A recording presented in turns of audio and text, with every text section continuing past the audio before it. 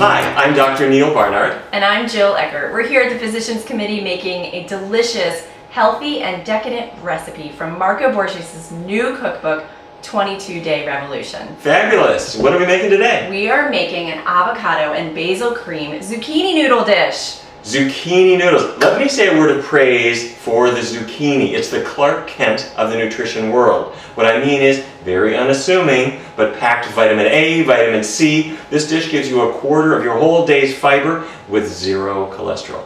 Where do we start? Well, we are going to talk about our ingredients. We are working with zucchini, as you know, and then we're gonna make this delicious cream. It's avocado, lemon, garlic and onion powder, a splash of salt, some basil, and for garnish, we have cherry tomatoes, basil cut into slices, and a wonderful faux parmesan.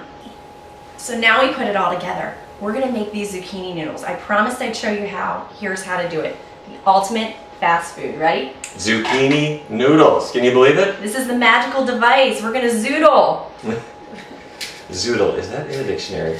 It's not, Okay. but it's so much fun. And seriously, this is the ultimate fast So it's food. making noodles. That's cool. I love it. You want to give it a try? Sure. Okay. Your turn. Okay. This is something they didn't teach us in medical school. Well, we'll see if we can get it right.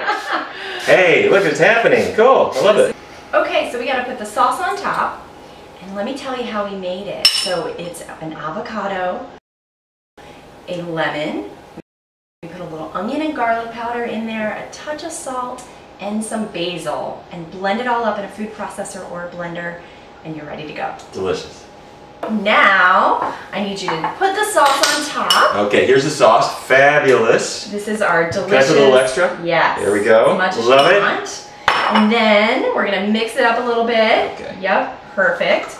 And then I'm going to toss on some garnish you that? Look at those beautiful colors. So pretty. All right. All right, some tomatoes sliced, some basil chiffonade, and our wonderful mixture of almonds, nutritional yeast, and just a pinch of salt on top just for a little extra flavor. Look at that. Gives it sort of that cheesy flavor without the cheese. That's right. I love it. This is amazing. Let's do this at home. All right, thank you so much, Marco Borges, for this wonderful cookbook, and enjoy. Thank you, Marco. See you next time.